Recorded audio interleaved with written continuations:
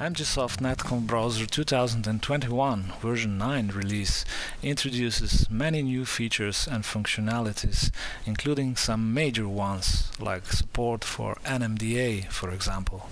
This video briefly presents these new features.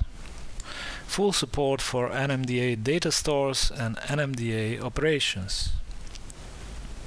The original concept of candidate running and startup data stores has evolved into a more complex concept that supports more advanced processing chains uh, of converting configuration to operational state. Uh, this concept is called uh, Network Management Data Store Architecture or NMDA and it is the next big thing in NetConf and RESTConf configuration management. We are very excited to announce that Netconf Browser 2021 fully supports the NMDA. Uh, it supports all data stores specified in NMDA, operational, conventional that is startup, running, candidate and intended, as well as dynamic di data stores. The software visualizes the data stores in separate tabs uh, in the main window uh, you know, NMDA data stores can have different schemas and in such case a different set of YANG modules uh, will be shown in each tab. Um, you can click the tabs uh, in the YANG tree panel to switch between the data stores, uh, expand the YANG trees separately, uh, and of course select the netconf operation from the context menu like this. To use the NMDA specific edit data operation, select the conventional tab and choose, for example, the interfaces container and select the edit data compose running data store from the context menu. Uh, this retrieves the actual running configuration from the server and displays it in the netconf content editor window where you can edit uh, the configuration and send it back to the server. Um, in this example we'll disable this interface by setting the uh, enabled leaf uh, node to false and then send the configuration back to the server and the server responds with OK. Uh, that's how simple it is to modify a configuration of a server.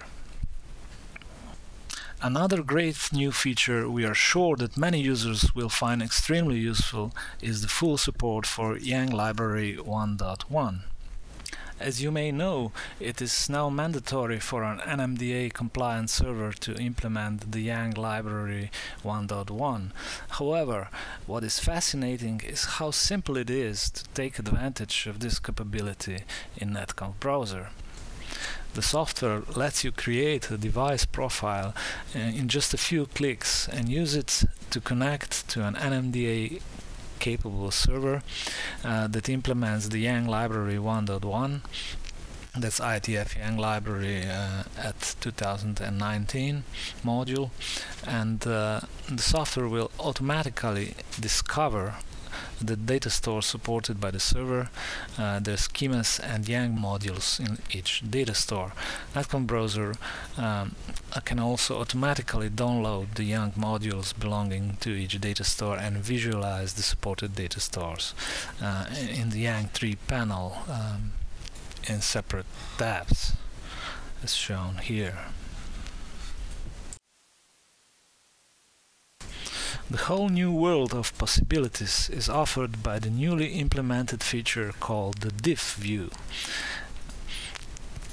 This feature lets you easily compare configurations of two different netconf or restconf devices or two different configuration data stores on one device.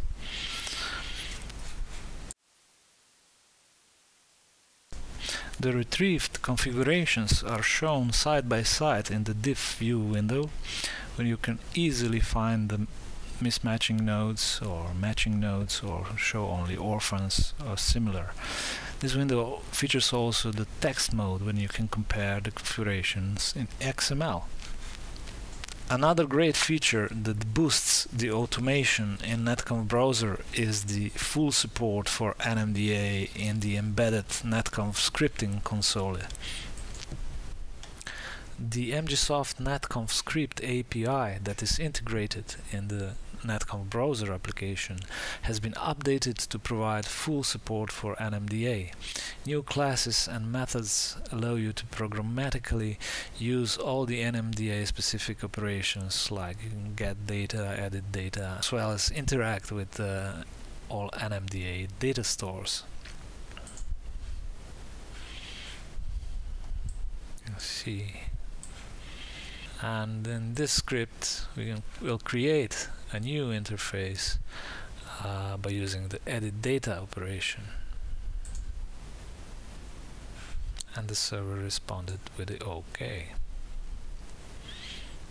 Now you can use the popular Python scripting language to perform automated tasks like testing, configuring and monitoring of NMDA compliant netconf devices as well as non-NMDA devices. There are no limits. In addition to supporting the NMDA in the netconf protocol, netconf browser now provides full support also for the NMDA in the RESTconf protocol, so no NMDA device will be left unmanaged. Upon establishing a RESTconf session with the server, netconf browser can discover the data stores supported by the server and download the YANG modules from it. Uh, the software allows you to interact with all the NMDA data stores by supporting the new data store resources which is RESTconf DS uh, and then we can choose the uh, supported data stores. It's really that simple to compose the URI target uh, resource for the RESTconf get operation for example. Click the send button to retrieve the information from the RESTconf server. Of course, RESTconf operations can be also performed directly on the YANG tree nodes, like this, for example.